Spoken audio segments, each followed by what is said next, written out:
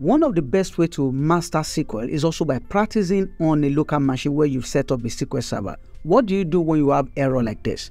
Let us simulate it and solve it together. Click on connect. For example, I'm connected to a server on my system and right here I'm having the same challenge. Cannot connect to SQL server.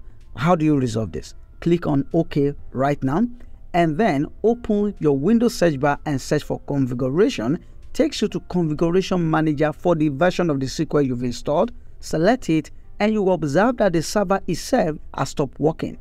Click on it and also use the play button to start the service again.